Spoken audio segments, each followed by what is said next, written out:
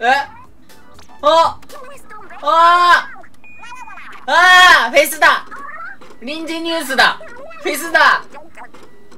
フェスのお題はなんじゃ？って言ってる。みんなわかるか？フェスのお題。今回のフェスのお題はテケテケポン。春だ！ふわもこ。ふわもこ。ひよこかこうさぎかこぐまだ。かわいい全部。確かに春といえばひよこかうさぎかこぐまってのはなんか、こぐまはわかんねえやな。ひよことうさぎはわかるよ。ね、あの、ディズニーランドでも、ウサピヨってキャラが出てくるぐらいだからね。ひよこと小ウサギはわかるんだけど、小熊ってなんだ？へえー。ちょっと楽しみですね、この、新しいフェスがね。ということで、始まるみたいなので、皆さん、あの、楽しんで、やりましょう。あの、フェスのチームね、今まだ悩んでるんですけど、考えるわ。これから考えるわ。ふむ、わしは小ウサギにビビビと来たぞ。この中で一番足が変な小ウサギと見た。かけっこがしたい、うつほちゃん。君はふうかちゃんは金の卵を産んでくれる。確かにひよこいいね。え、二人とも全然ふわもこに注目してなくない？子熊はふわもこ、確かに。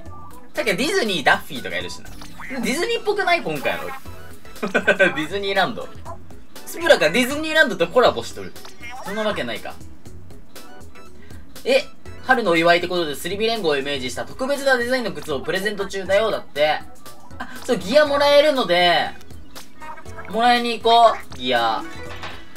ギアもらいに行こう。なんかここの、ゲームニュースってとこで、スプラトゥーンのね、項目が、これから？ここにあるんだけど、はい。これ。